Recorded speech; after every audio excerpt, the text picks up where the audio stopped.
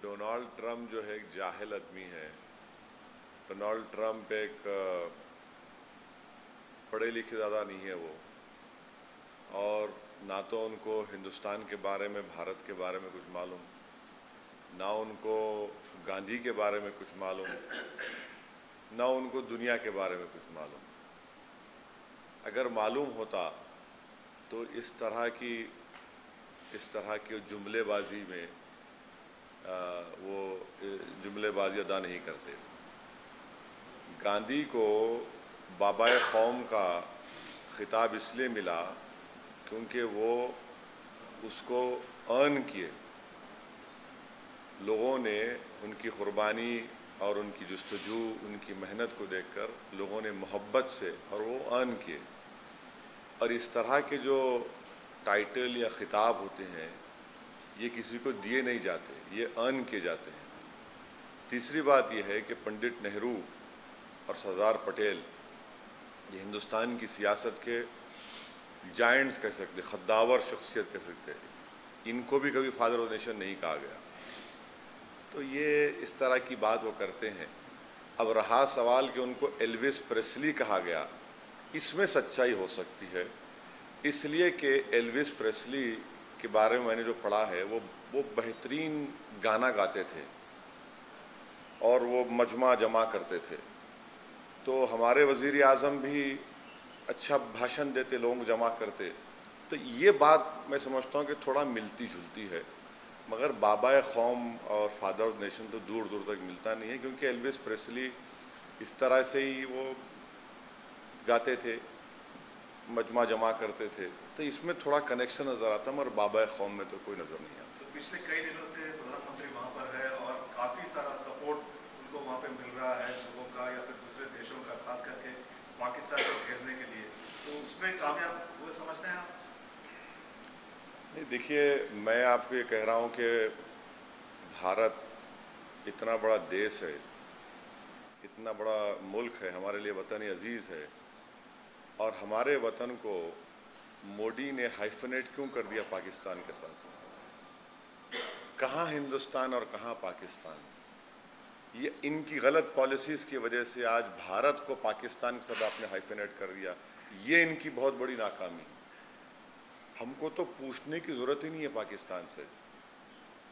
کہاں ہندوستان، کہاں کہاں پاکستان؟ تو یہ ان کی ناکامی ہے کہ انٹرنیشنل لیول پر بین الاقوامی سطح پر بھارت کو اور پاکستان کو ایک ساتھ دیکھا جا رہا ہے جو میرے لیے بڑی تکلیف دہ ہے۔ اور یہ غلط بات ہے کہ بھارت کو آپ ہائفینیٹ نہیں کر سکتے پاکستان سے نہیں ہونا چاہیے تھا مگر افسوس ہے کہ سرکار نے ایسا کر دیا۔ یہ سر ابھی پچھلے سیٹرڈے سے وہاں پر ہے تو پورے ٹور کو آپ کیسا دیکھتے ہیں مودی صاحب کے؟ دیکھیے میں نے کل اپنی بھاشن میں بھی یہ بات کہی کہ ایک کمپنی ہے ٹیورائٹ کمپنی جس کو پیٹروجن نے، اگر میں غلط کہہ رہا ہوں پرانسس تو معاف کرنا مجھے، انہوں نے سترہ ہزار کروڑ روپئے اس ٹیلورائٹ کمپنی میں انویسٹ کریں گے گیس کے لیے۔ اور یہ بات فیکٹ ہے کہ وہ کمپنی ٹرمپ کو الیکشن فنڈنگ کرتی ہے۔ اب ہم کو، مجھے یہ بات سمجھ میں نہیں آ رہی ہے کہ یہی پیٹروجن کمپنی نے اکنامک ٹائمز اور دوسرے کرانیکل میں رپورٹ آئی۔ کہ اپریل، مئی میں اس کمپنی نے اس بات کو لے کر کہا کہ ہم ٹیلورائٹ میں انویسٹمنٹ نہیں کرنا چاہیے، غلط ہوگا۔ مر اس کے باوجود بھی سترہ ہزار کروڑ روپئے یہ بھارت کا پیسہ ہے۔ ہم نے اس میں انویسٹ کیا۔ موڈی سرکار بار بار کہتی ہے make in India make in India F D I لے کر آئیے۔ ہم کارپوریٹ ٹیکس بھی کم کر دیے، مگر ہمارا پیسہ یو ایس کو جا رہا ہے۔ دوسری بات، اس میں کوئی کلیئرٹی نہیں ہے کہ گیس جب ہم خریدیں گے تو اس کے الگ پیسے دینا پڑے گا۔ امریکہ سے جب انڈیا گیس لائی جب ٹرانسپورٹیشن چارج دینا پڑے گا۔ آخر سترہ ہزار کروڑ روپے کیوں اس کمپنی میں ڈالے گئے؟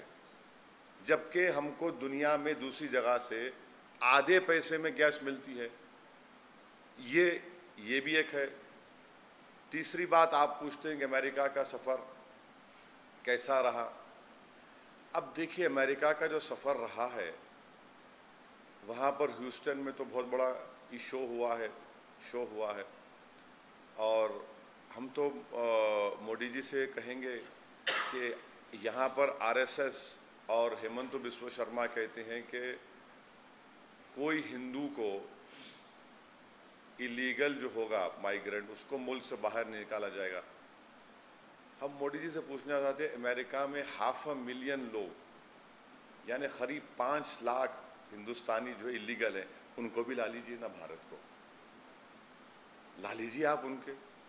جب آپ واپس آئیں گے تو پوروں کو لائیے۔ اور جس طرح وہ ایک پھول کی پتی کو اٹھائے تھے، اس طرح وہ ہاف اے ملین ہندوستانی آ کر سجدہ کریں گے، جب بھارت کی سرزمین پر لینڈ کریں گے۔ واپسی میں لندن پہ رک جائیے، دس ہزار وہاں بھی illegal ہیں، ان کو بھی لالیجئے وہاں کیوں رہے بھائی؟ ہمارے دیش کے لوگ کیوں امریکہ میں رہیں؟ کیوں برطانیہ میں رہیں؟ آ جائے اپنے۔ وہ ایک مشہور گانا تھا کہ پنچی پنجرا توڑ کے آ جا، دیس پرایا چھوڑ کے آ جا، آ جائیے، لا لیجیے ان کو۔ اور آخری بات یہ ہے کہ یہ ٹرمپ کو ہم پھر سے ہم کہہ رہے ہیں، یہ سرکار ان کی ہم تو کچھ نہیں کر سکتے، مگر ہمارا ماننا یہ ہے کہ ٹرمپ جو ہے یہ ڈبل گیم کھیل رہے ہیں۔ عمران خان کی تعریف کرتے ہیں اور موڈی ہمارے پرائم منسٹر کی بھی تعریف کرتے ہیں۔ عمران خان سے کہتے ہیں کہ بھیا، ایران سے تم ذرا بات چیت کروا دو میری۔ اور ہم سے کہتے ہیں کہ ایران سے آئل مت خریدو آپ۔ اور ہم ایران سے آئل نہیں خرید رہے تو ہم کو پندرہ ہزار کروڑ کا بوجھ بھارت کے واسیوں پر عائد کر دیا گیا۔ یہ جو کھیل ٹرمپ کھیل رہے ہیں نا تو اس کو سمجھنے کی ضرورت ہے۔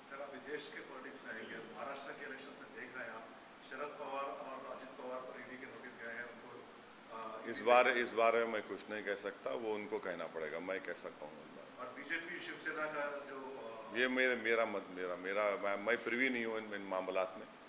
یہ تو دونوں کو طے کرنا ہم کیا کریں گے اس میں۔